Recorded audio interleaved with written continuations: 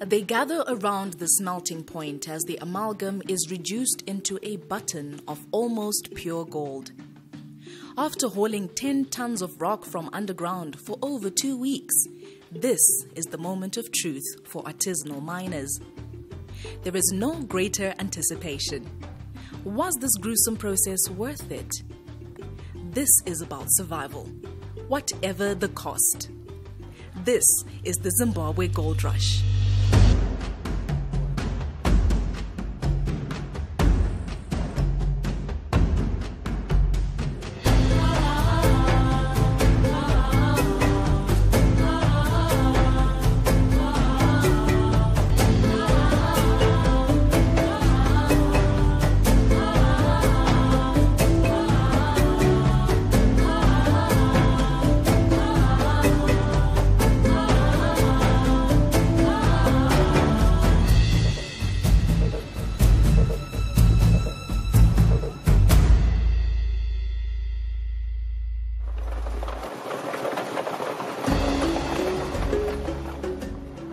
Like millions of people across the world, many Zimbabweans depend on artisanal and small scale mining for their survival.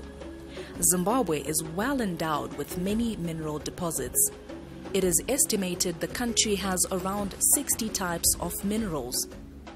Gold reserves are estimated at 84 million tons at an average grade of 4.9 grams per ton, and gold mining is a significant part of the mining sector.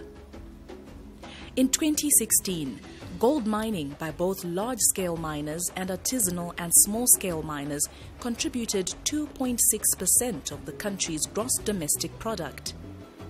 Nearly 500,000 people are estimated to work in small scale gold mining operations. In 2017, they were responsible for nearly half of the 24.8 tons of gold produced. The sector has also received considerable government backing through various financing initiatives and incentives in line with His Excellency's vision to be an upper middle class economy by 2030. In general, gold is the highest foreign currency earner for the country. Then, uh, in terms of production, the small scale miners have gone up due to their numbers we used to have the large scale miners being more than 50 contributing more than 50 percent but now it's the other way the small scale miners are contributing more than 50 percent of the pro total production Artisanal and small scale mining has experienced tremendous growth in recent years due to the increase in value of mineral prizes.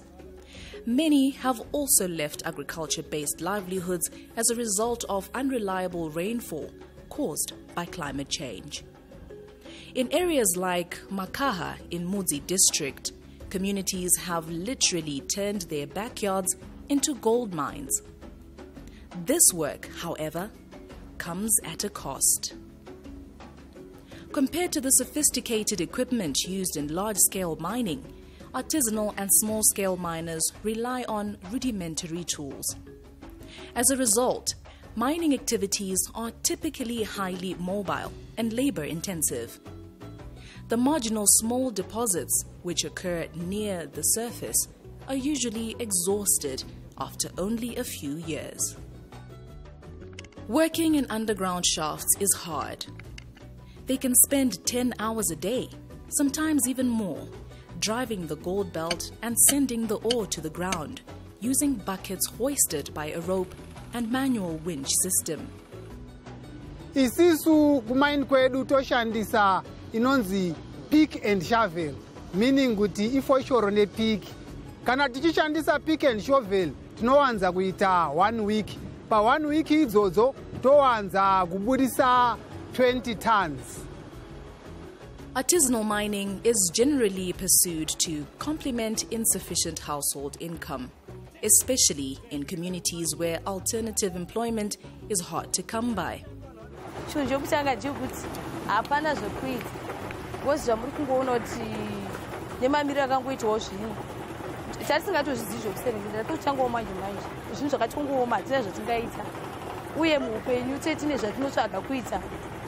kuti tisimudzire ramangwana. Sezvo kuti ndiri mudiki nde 21 years. Ndinonga handifaniri kunge ndiri kuno. Because of the highly informalized operations, established environmental, health, and safety standards and practices are often not employed. As a result, socio-economic, health, and environmental challenges have emerged, trapping artisanal miners in a never-ending cycle of poverty and community impoverishment. Some of them, they don't have the finance to, to get the right equipment, the right uh, things to use for mining. For example, like uh, I said, PPE, they need that. And also some of them, so that they can't afford, but because they just don't know and understand why we are supposed to put on that PPE. They don't know that you are protecting yourself there's also a problem of how to handle dangerous chemicals like mercury. They just use their bare hands and also burning that mercury in a corner where the, ventilation is so bad that it ends up just inhaling all the, the mercury vapor. dhenja yakawandisa makomba edu sei pano panzvimbo yatiri panapa? At least 3 to 4 meters. Nepik simupiki simufoshora nderechirova ende padhenja apa munongozivawo zvinhu zvisina kugadzirirwawo zvakanaka-naka rikomba rinokwanisa kungowira uchichera obva gofa kana wokuvara kana dombo kubva mutopo rokwanisa kuwira ukuvara plus mwana ndodze kuti kana mari kuenda kumba ndoenda ndinochinja dzimwe handina pamwe ndinopinda mugomba nenyangira gora. Ndikawira ndikakuvara Because of exploration processes in large scale mining operations, locating mineral deposits is largely more reliable and accurate. Artisanal miners, on the other hand, use trial and error and are more ad hoc as they rely on copper wires to locate mineralized deposits. As a result, their operations are characterized by low mineral recovery, investment losses, and greater environmental degradation. Siyasebenzisa i-wireless. I-wireless ungazibamba ikopa wire le uyayiquma ibe about is- one- 110 120 centimeters. Then iwire le ungayibamba uyenze ibe ngu-l obusuyibamba so then ma ufika lapho le bhandi iyavula iwire le ikutshengise lapho le ukuthi lapho sufikile kule bhandi then nxa ucross ungalidlula ibhandi iyabuyela kuposition. Ukuze uyabe sesikwazi ukuthi ibhandi lethu lilapho evulekele khona uh, artisanal mines do not mind about uh, the environment. They degrade uh, the trees they uproot. Whatever they find on their course, as long as they want to get their minerals, they will destroy. Shurugwi, being mountainous, is a source of rivers. They go for alluvial. Now it's no longer alluvial mining, it's uh, river panning such activities they've depreciated the value of the water. They also use mercury to purify or to trap their gold. And as such talking about environment water being an environmental component the level of depreciation the water is, is no longer suitable or user friendly, it's no longer consumable. Mining is one of the biggest sources of mercury released in the air and environment. According to the Minamata Convention, artisanal and small scale miners released 1,400 tons of mercury in 2011. mercury isusu hatiise nhumbi dzekuti tozviprotecta tinongoishandisawo senzirayo yatakangowanawo vamwe vachingoishandisawo kuti zvireruke kuti tibate gold redu. Tinongobata nemaoko edu iwawa e, tongoisvina tichiisvina ipapo toenda yonopiswa kupiswa uko kunonzi kucutting torch kana kupisa nemoto. Patinokwesha tinoisa mavhu muserengende redu nedombo ratoshandisa kuita uyu toisa mvura mavhu nemercury nesefi nesupu tichikwesha kukwesha Mercury is relatively cheap and quick to use in capturing the fine gold in the extraction process. Mercury is added to crushed ore and it combines with the fine gold particles to form an amalgam. When the amalgam is heated, mercury evaporates into the air and a porous sponge gold product remains. The miners then sell this onto Fidelity refiners and printers, the country's sole buyer of gold. pane nzvimbo iri padhuze apa iagent yefidelity. Ndipo patinoendesa goridhe retu rapera tonoritengesa. Ikoko tawa- towana chinonzi mareturns ndiwo atinozoendesa kuministry of mines. The use of hazardous substances such as mercury, zinc vapor, and cyanide in mining is a health risk to miners and their communities. takanzwa kuti mercury iyi inokuvadza kuvanhukadzi kuchibereko nevanhurume. Paine maeffects akawanda muutano hwedu. Zvokuti kana uri munhu kutanga kuita netemwa achibvunza kuti nechi saka sitiri kutotya kutoishandisa asi kuti hapana zvingakwanisa raramisa vana. In areas with artisanal mining activities, streams and rivers often become polluted, unknowingly making the water unsafe for drinking for both humans and livestock. It also affects fish stocks, which the communities rely on for food. you find there is a lot of use of mercury in the artisanal mining sector, and that leads to pollution of, of, of, of, of water, contamination of water.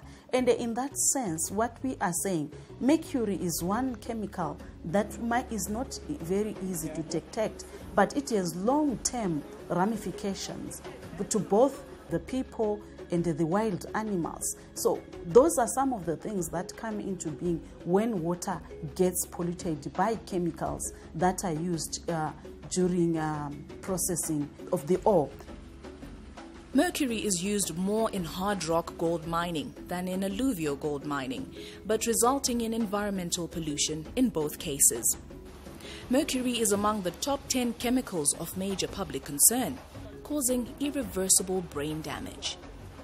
This is even more potent because its consequences are usually not immediate and only manifest when it is too late. The mercury that's used by the artisanal miners is elementary um, mercury, which is uh, in the inorganic form uh, of mercury. This inorganic form of mercury, um, they hand, during the handling uh, of it, uh, when they mix the um, uh, mercury and the sands to make the amalgam, there's quite a bit of um, handling that occurs there. And when they heat the amalgam, vapor is formed, which then they inhale, at times in very large quantities. Um, this then is the way that most of the uh, inorganic form of mercury is, um, enters into the body through inhalation. Mercury poisoning affects the brain and nervous, digestive, and immune systems, as well as lungs, kidneys, skin, and eyes. So when mercury gets into the body, um, there is very high affinity uh, of uh, mercury to your brain. People working in artisanal mining and using mercury are the most directly and seriously affected since they are exposed to both occupational mercury poisoning and methyl mercury poisoning through the food chain. Most of the symptoms that people will present with uh, when they have mercury poisoning is when they have tremors. Um, they will have uh, tremors which are fine, interrupted with very coarse tremors, where a person is just shaking. Apa basically ndiri kunzwa ku- kupera simba nekuvhagwa pahuro nemudumbu nema- nem- nemabackbones musana kudedera ndotodedera especially mahands ane asina simba then majoints ane achigurika gurika kupera pawo Mercury is also difficult to contain and can be toxic at even very small doses. It can be transported long distances by air or water, poisoning the soil and waterways, and eventually making its way into the food chain.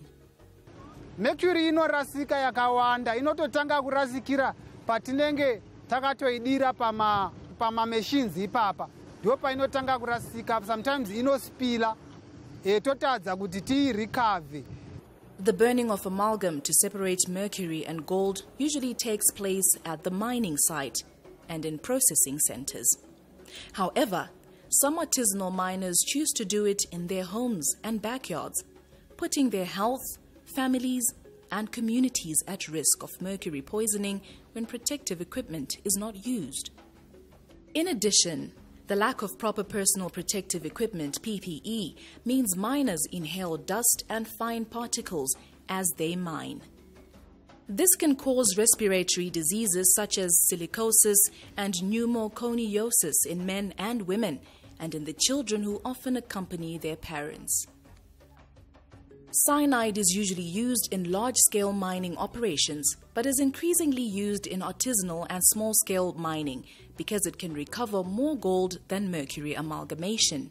Cyanidation is more cost effective and efficient. Cyanidation is often used to process the residual gold from tailings after mercury has been used. Mixed together, mercury cyanide can bioaccumulate in aquatic organisms, resulting in fish with high levels of mercury contamination. This mercury cyanide complex can also carry mercury further than it would go on its own. However, cyanidation is still generally costlier than mercury amalgamation for most artisanal mining sites and requires more knowledge and technical training in handling it. The majority of artisanal and small scale miners operate informally and illegally without the requisite licenses and permits required by law. Mining law in Zimbabwe is governed by the 1961 Mines and Mineral Act, which permits any individual, provided they are a permanent resident of Zimbabwe, to apply for a mining license. Once one secures a mining certificate or license from Ministry of Mines, then he is qualified to be called a miner according to the Mines and Minerals Act. asi kuwanikwa kwemapepa kwacho hatimati tirikurositirakuta for life time nomo mapepa amosi kwai anoda mari yakati kuti umawane ndomawana sei mari yacho nyinji iyo zvindiri kutadza kuenda kumba ndoiwana sei mari yacho. Saka newe ndongoramba ndichingoita gwendo gwevatsirona nake nagudo kana gwakiti nagosha gwekungonzvenga nanzvenga but indiye ndiri pariski Artisanal mining is also often poorly regulated by local authorities due to an absence of regulatory framework, a lack of enforcement capacity, or corruption. As a result, artisanal mining is often associated with social conflict, human and labor rights violations, and environmental degradation. Kwekwe town on itself sits over tunnel, Globe and Phoenix mine, which stretches for about two or three kilometers across town, and the town itself sits over a tunnel. It's a time bomb. Illegal miners in Kwekwe has, have got the belief that sewage water has got high affinity to attract gold. When they are doing their panning, they want sewage water to wash their ore, their stove. And many a times, Kwekwe City Council is crying as their sewer pipes are being vandalized now and again, especially around the Primrose area. There is commonly lack of adequate health and safety safeguards, and there are often a high number of fatalities and injuries in the sector. Poor social and environmental practices often negatively impact on local communities. As of uh, end of October this year, from January up to up to 30, 30, 30th of October, we had lost about 118 small scale miners and artisanal miners from different uh, accidents. Some are gassing accidents from the gases that are, are produced when you blast or the gases that are inherent underground. Then you also have some rockfall, a good number. We lost a good number from the rockfall. And uh, explosives blasting uh, accidents have also been, we have also had a lot of, a good number there. Then uh, some of them just ground fall from nowhere. The ground falls because people are mining without checking whether their ground is stable enough to hold what is above them. You'll find that in such communities, uh, there is high prevalence of HIV, a high prevalence of TB. Also, there is lack of access to uh, basic um, medical care, uh, no clinics. Uh, you find that uh, also in sort of trying to provide themselves with entertainment, uh, you, you find that the, most of these areas are a hive of activities, uh, things like um, alcohol. They become a special kind of uh, social uh, complex that people really need to look at and address. The sector faces many constraints, including lack of capital, as they do not have the required collateral security for bank loans inadequate technical expertise for mining, and inefficient processing methods, leading to low recoveries. Artisanal mining requires improved environmental management, public health management, and mine safety to reduce its environmental and human costs. This would ensure that artisanal and small scale gold mining practices are consistent with the principles of sustainable development. It is very critical at this point in time, as far as EMA's observation, that Ministry of Mines should engage its engineering department to do an integrity test of the tunnels and also to conduct an audit on the status of their pits or shafts or their mines because we realize that these uh, illegal miners who are moving everywhere. We have got no limits in terms of law and their operations. They need to sensitize the people or the local authorities about the structures of their mining activities because most of these shafts were just abandoned and they were abandoned in an area where people are settled. And we are afraid of risks that these have, got, have become or shall become death traps. When a large scale mine ceases operating after the ore body is exhausted or unprofitable, it undergoes decommissioning, dismantling, and rehabilitation of the land. If this approach is used for artisanal mining, there would be less scarring of the environment uh, small scale mining also has resulted in basically the, the, the, the, the scarring of the landscape, whereby we have open pits remaining. And by these open pits, what happens? The aesthetic value of the environment is actually reduced. And when we have this reduction in the aesthetic value, so many things happen. Remember, we are a country that relies so much on tourism, and the tourism is built upon aesthetic value. Now, when aesthetic value is reduced, therefore, one way or the other, we are compromising our tourism potential. So, that in its way is not good to the environment as it reduces that potential to attract more and more tourists.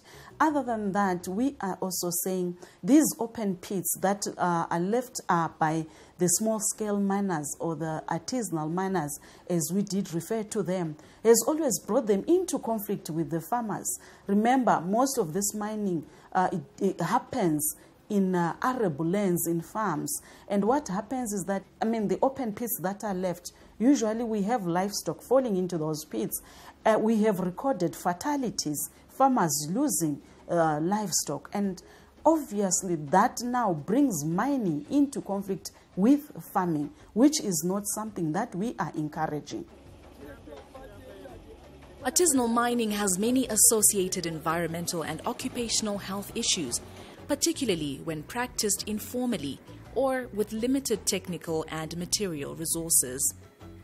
The health and well being of miners, their family members, as well as nearby communities is often adversely affected.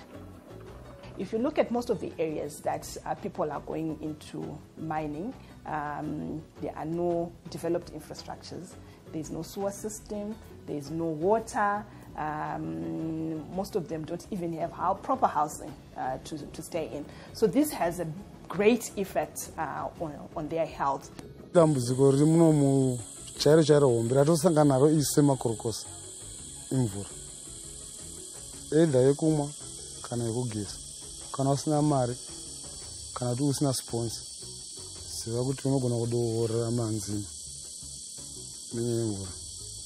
zvinozopedzisira vamwe iko zvomvura yekuerera. Tokwanisa kungotionda vaneuzo vasina geza unogeza mvura inoerera.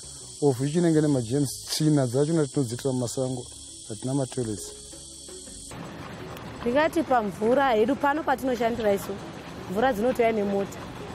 Padzinopamba kune pambi iri kwarabiko saka mota dzinoenda nemajojo tenga ma1000 lita dzondopambigwa mvura dzouya nayo kuno vamwe isi tinobva nadzo kumba tisikagari muno mugomba toenda kumba ndosenga mvura yangu tulita sindoya nayo kubasa asi vazhinji vanobika vanotochera mvura dzinobva nemota. Dzimwe dzizoshandiswa mabhesi mamuri kuona masilaini. Pano hapana zvimbuzi. Vanhu vazhinji vanoda kuzvibatsira ndoenda musango vamwewo kunyanyasi vanhukadzi tisingaendi musango tisienda kwachimoni. Ndokwatinoenda kuzvibatsira tiri ikoko. Varume vazhinji vanongoenda mumakwenzi moma muri kuona. Ndimo vanoenda varume vazhinji Governments have been working for several decades to reduce the safety, health, and environmental impact of artisanal mining, particularly the use of mercury. The Environmental Management Agency and PACT Zimbabwe are introducing artisanal miners to the use of retorts to minimize exposure to mercury during the recovery process. Uh, the retort, it works like a condenser. You burn the amalgam and the mercury is, is, is hit and then it vaporizes. When it vaporizes, it is contained within the retort so that there is no escape of the vapor, so that the vapor is not breathed by anyone. And it uses water to cool, to condense that vapor. That vapor is condensed back into liquid mercury, and that liquid mercury is collected. It can actually save their mercury zone. kwakazouyawo vanhu vakatidzidzisa imwe method yekuti kune inonzi retort. Ndiyo yatadzidza nezvayo nhasi yekutiwo gold tarichabati direct nemercury takushandisa retort iyoyo. Yakanakira kuti hatichafema mweya wemercury handiti pakupisa. Uye mercury takwanisa kuita recycle.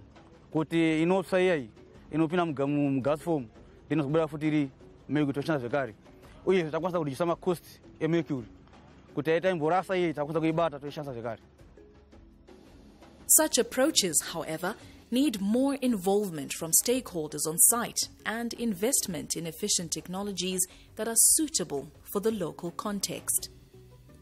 Even though technologies exist, the challenge lies in identifying the most appropriate ones for given mining sites and demonstrating their value to miners.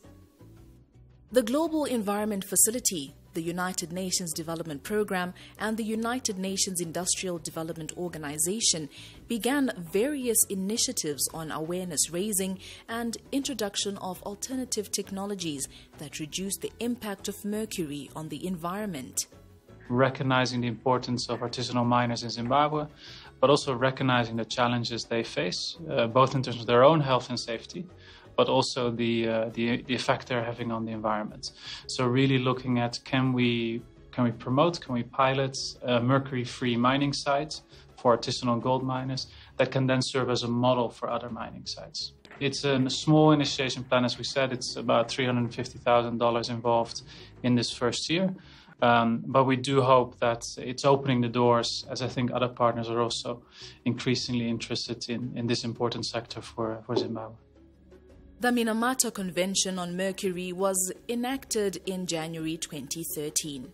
It is a legally binding global instrument meant to support the reduction of mercury trade, supply, and use in artisanal mining and several other sectors. Some of you who know of the history uh, behind the whole uh, debate on um, mercury internationally, where there was the Minamata disaster, uh, where there was a lot of uh, contamination of water in a place in Japan called Minamata, uh, where they ended up through epidemiological studies seeing that the population was being affected to the effect that um, there were many children being born with uh, deformities because of mercury uh, poisoning.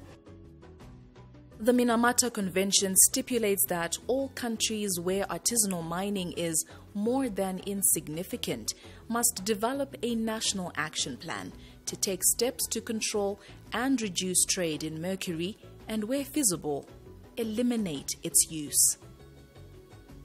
These measures need to promote the adoption of cleaner and mercury free technologies by artisanal mining communities and the formalization of the sector, and provide technical and financial assistance.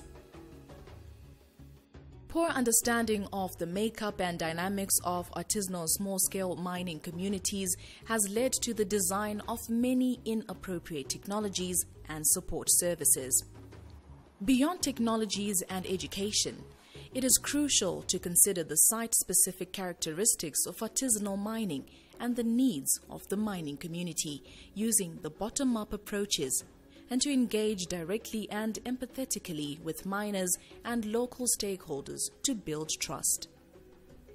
pane pekuti nyaya yekumines kudhai vachikwanisa vaingoita sevekuema kuti every time panonyora kana zvimapepa zvako zvekuti kuti kumaini tikuita zvakati nezvakati tigare tine advance tikufambirana navo bcause vanokwanisa kupedza two years vasina kusvika kumaini.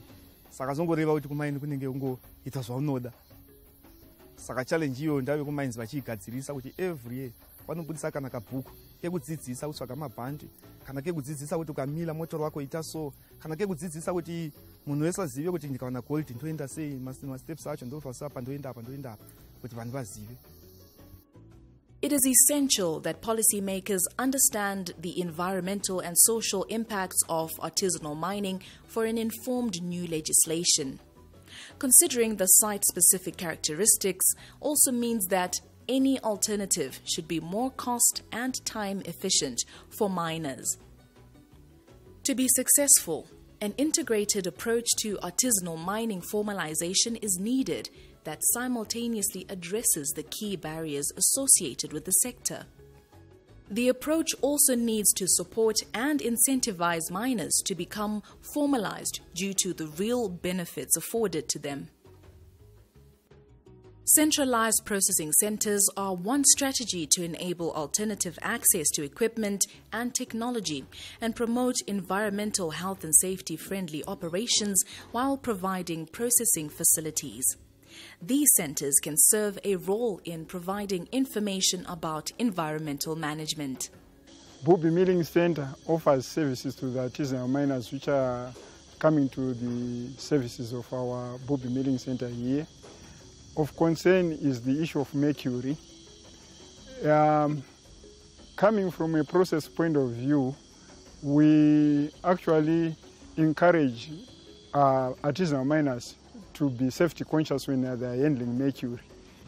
The first aspect is to make sure that uh, the most important uh, asset within the mining sector is the person himself, the miner. So if they can take care of their health, then we are assured of sustainable mining, be it in charge of the environment or the other resources. While large scale mining continues to be seen as the main contributor to gold output, its contribution has declined over time relative to artisanal mining. Artisanal mining's contribution to the economic growth can be improved by increasing the amount of gold that is traded formally this requires improving access to and protection of mining claims for artisanal mining and establishing affordable financing and technical services like exploration, mining, and mineral processing advisory services for the sector, which would improve output. The importance of gold mining to Zimbabwe's economy continues to rise, partly due to continued growth in artisanal mining. Artisanal mining makes noteworthy contributions to both economic growth and economic development. Creating an enabling environment for artisanal mining requires bold changes to laws, policies, and how institutions implement these. This includes creating property rights that are suitable for artisanal mining and deregulation of gold mining in a manner that decriminalizes gold possession, improves market access, and ensures that the government of Zimbabwe benefits from artisanal mining gold rush.